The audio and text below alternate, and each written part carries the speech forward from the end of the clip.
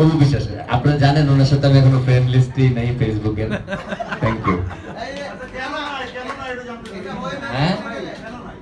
ভাবছে যদি কেউ দেখে সাইমন ফ্রেন্ড লিস্টে আছে, ও ভাবছে ঝুলে থাক।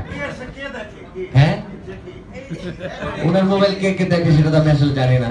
জয় দেখতে পারে, জয় যখন তার বাবার কাছে যায়, যদি বাবা কখনো মোবাইলটা নিয়ে দেখে। এটা হতে পারে হ্যাঁ? না না, এই যে আমি, এইভাবেই ঝুলে আছি। আমাকে কনফার্ম করে না আমি আমার মনে হয় দেখায় অনেক জায়গায়। সাইমন তো ঝুলে আছে। অ্যাকসেপ্ট খবরদার। পরে আমি রাগে আবার আনফলো করে দিই হ্যাঁ? অনেক দিন আগে অনেক দিন ধরে।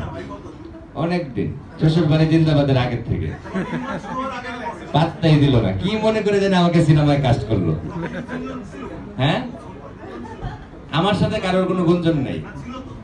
কবে? হ্যাঁ সর্বনাশ আমি অপু বিশ্বাসকে কতবার আই লাভ ইউ বলেছি তোমার কোনো ধারণা আছে? সিনেমার মধ্যে। অ্যাকসেপ্ট করেন হ্যাঁ? লাল শাড়ি পরে সিনেমা হলে যাবেন অপু বিশ্বাস কথা বলবেন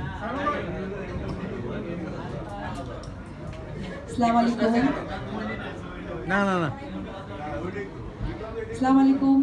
উপস্থিত আমার অত্যন্ত প্রিয় ভাই বোনেরা, যাদের ছাড়া আমরা আসলেই অচল, এটা অনেকে বুঝতে চায় না। আসলে মাঝে মাঝে শোনা যায় যে সাংবাদিক না, সাংঘাতিক।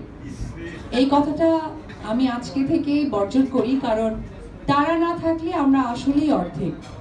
পৃথিবীর যে তাদের জন্য একটা, সাংবাদিকদের জন্য একটা হাততালি হয়ে যায়। আমি রেসপেক্ট তাদেরকে জানাই। পৃথিবীর এই কর্নার থেকে অপর প্রান্তের কর্নার পর্যন্ত যদি কোনো মেসেজ কারও কাছে পৌঁছে যায়, সেটা কিন্তু তাদের মাধ্যমেই যায়।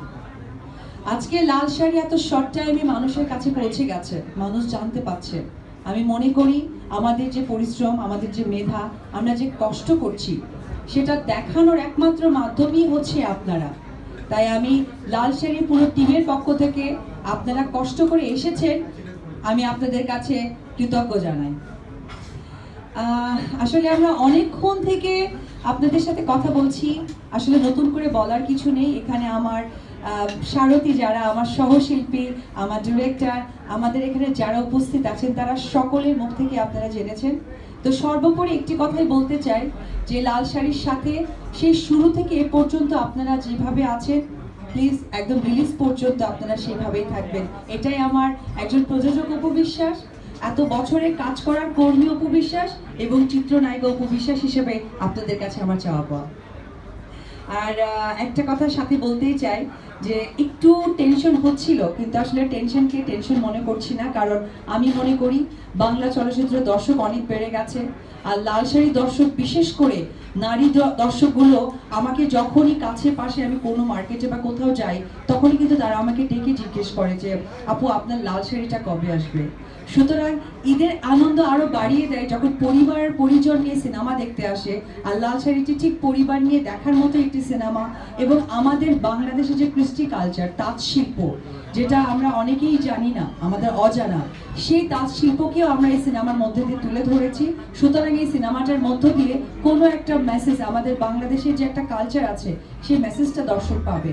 আমি আমন্ত্রণ জানাচ্ছি যে এইবার ঈদ আরও আনন্দময় হোক লাল শাড়ির মধ্য দিয়ে আমরা ফুল টিম অনেক আনন্দ করেছি অনেক মজা করেছি সাথে কষ্ট করে আপনাদের সামনে সুন্দর একটি সিনেমা উপহার দিতে চাচ্ছি আর সে সফলতা বয়ে আনবেন আপনারা সকল দর্শক।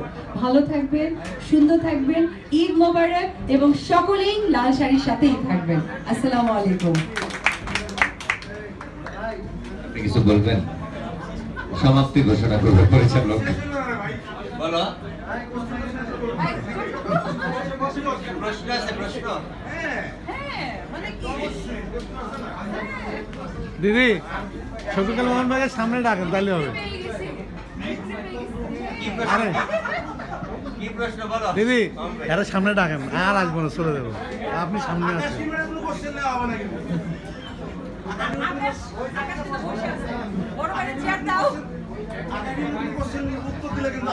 খালি ডাকেন না কার সামনে আসেন। না।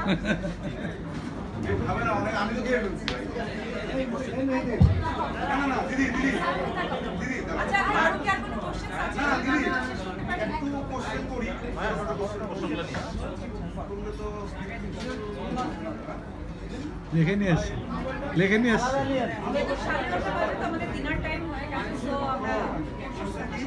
লিখে নিয়ে এসছে মজা হয় না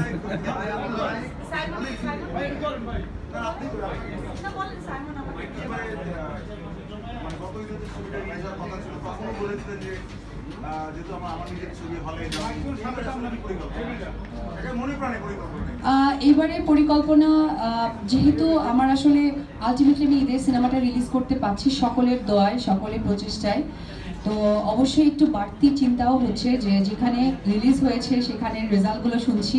সাথে ঈদ, ঈদেও তো পরিবারেরও ব্যস্ততা কিছুটা থাকে। আর অন্যান্য অনেক সিনেমা রিলিজ হচ্ছে। আসলে আমি আমার সিনেমার রেজাল্ট নিব। তারপরে আসলে মানসিকতা কিছুটা সুস্থ হতে হবে, কারণ আমি একটু টেনশনেও আছি। সিনেমা রিলিজ করার পেছনে অনেক দায়িত্ব কাজ করে। সেই দায়িত্ব কিন্তু আসলে যারা এ পর্যন্ত রিলিজ করছে, শুধু আমার একার নয়, আমার মনে হয় এই সিনেমায় যারা অভিনয় করেছেন, সেই অভিনয় শিল্পীরাও একটু চিন্তিত যে, আলহামদুলিল্লাহ আমরা যেন সাকসেস হতে পারি। তো অবশ্য সমস্ত সিনেমার জন্য অনেক দোয়া, শুভকামনা। তার মাঝে আমি আমার সিনেমাটার রেজাল্ট নিব। আর এইটুকু বলতে পারি, আমি চলচ্চিত্রের মানুষ, অন্যান্য চলচ্চিত্র আমি নিজেও দেখতে যাব। থ্যাংক ইউ স্পেসিফিক আসলে এই ব্যাপারটা ওইভাবে আমি আনতে চাই না। আসলে আমরা চাই যে আমরা কাজ করছি সকলেই, আমরা সকলেই চলচ্চিত্রের মানুষ। আসা, যাওয়া বা সবকিছু আসলে নিজেদের মধ্যে। এই যে এখানে যারা সাংবাদিক ভাইরা, আপনারা নিজেরাও আছেন। আমি যতটুকু জানি যে আরও একটা প্রোগ্রাম আছে। কিন্তু সেইখান থেকে প্রায় এইটটি পার্সেন্ট সাংবাদিক ভাইরা আপনারা এসেছেন। আমার হয়তো কথা হয়েছে চার, পাঁচজন। কিন্তু এসেছে কিন্তু অনেকেই। সেটা ভালোবাসার টানে। তো আসা যাওয়াটা আসলে ভালোবাসার জায়গা থেকে হয় বলছিলেন যে, আহ, অপু বিশ্বাস কিন্তু হল- হলিউডে সাকিবের কারণে কিন্তু আজকে সেটা তো সবাই আপনি নিজেও স্বীকার করেন বলেন তো আপনার প্রথম ছবি এটা। তো আপনার সহশিল্পী হিসেবে যাকে আপনি সবসময় মাথার উপরে রাখেন তাকে তো নিশ্চয়ই আপনাকে আশীর্বাদ দেওয়ার জন্য বলবেন বা অনুরোধ করবেন বা দাওয়াত করবেন কিনা? এই জন্যই বলা সব থেকে বড় কথা হচ্ছে যে আমরা সবাই শিল্পী। আমি শিল্পী উনিও শিল্পী। প্রত্যেকটা শিল্পী তার ভালো মন্দ খুব ভালো করে জানেন। তো আমাদের সহশিল্পী বা সে আমার সমস্ত সিনেমার নায়ক ছিলেন এবং আমি এটা স্বীকার হান্ড্রেড পার্সেন্ট করি যে আজকে অপু বিশ্বাস হওয়ার পেছনে অবশ্যই আমার সহশিল্পীর হান্ড্রেড পার্সেন্ট অবদান। কারণ উনি সাপোর্ট না দিলে আমি হতে পারতাম না এবং আমি এই কথাটাও পাশাপাশি বলব যে অপু বিশ্বাস হওয়ার এইটটি পার্সেন্ট সাকসেস আমি তাকেই দিব। কারণ অনেক সময় অনেক সিনেমায় অনেক ডিরেক্টর চেয়েছেন যে, আমি অন্য আর্টিস্টকে নিই। কিন্তু সেখানে অনেক সময় সে বলেছে, না, এখানে এই হিরোইনকে ডিমান্ড করে। তো এই যে এই, এর মধ্য দিয়ে আমার একটা সিনেমা বেড়েছে বা দুটো সিনেমা বেড়েছে এবং আমি দর্শকদের সামনে সেই সিনেমাটা নিয়ে আসতে পেরেছি। ডেফিনেটলি তার কাছে আমি কৃতজ্ঞ জানাই। আর আশা বা শুভবাদ, এটা তো আসলে মন থেকে আসবে। সুতরাং সে অবশ্যই নিশ্চয়ই আমাকে বা আমার মানে সিনেমাকে অনেক দোয়া করেন। সেটা এখন সামনে না পেছনে, এটা একান্তই ব্যক্তিগত। এটা একান্তই ব্যক্তিগত আসলে। আর কিছু? আচ্ছা জয় আসলে অনেক ছোট, এটা নিয়ে আমি ওইভাবে বলতে চাচ্ছি না, সুযোগ হলে আসব। তবে আমাদের মাঝে আমাদের সবচেয়ে প্রিয় একজন অভিনেতা আমাদের মাঝে এসেছেন। আমি মনে হয় তার কোনো কথাই আমরা এখনও পর্যন্ত শুনে উঠতে পারিনি, বাট ধন্যবাদ জানাই আজম ভাইকে কষ্ট করে আসার জন্য। আমি মাইকটা আজম ভাইকে দিচ্ছি। উনি যদি লাল শাড়ি নিয়ে কোনো একটা তার ভালোবাসা বা ভালো লাগা প্রকাশ করে। আসসালামু ধন্যবাদ অপু দিদি। সরি আমি অনেক দেরিতে এসেছি আমার শুটিং ছিল। লাল শাড়ি সরকারি অনুদানের একটি ছবি এবং অপু জয় চলচ্চিত্রের প্রথম নিবেদন এবং বন্ধন বিশ্বাসের পরিচালনায় আহ, ছবিটা আমরা সবাই অনেক মজা করে আমরা শুটিং করেছি। এখানে আমরা প্রায় সবাই আছি এবং ঢাকার কাছেই শুটিংগুলো হয়েছে। এবং আমি আমি মনে করি যে লাল শাড়ি আমাদের বাংলাদেশের তাঁত শিল্পের একটি মানে অনেক কিছু সেখানে আপনারা দেখতে পাবেন কীভাবে তাঁত শিল্প আমাদের দেশে পরিচালিত হচ্ছে এবং আমাদের যে গৌরবগুলো আছে তাদের সেই গৌরবের অনেক কিছু আপনারা দেখতে পারবেন এবং এটা একটি অন্যরকম ভালো লাগার ছবি, অন্যরকম ভালোবাসার ছবি এবং আমরা সবাই আশা করব আপনারা হলে আসবেন এবং হলে এসে এই ছবিটি দেখবেন। সবাইকে অনেক ধন্যবাদ।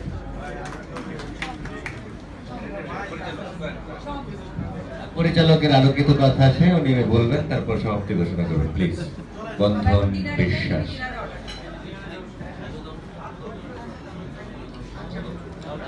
সবাইকে আবারও ধন্যবাদ জানাচ্ছি।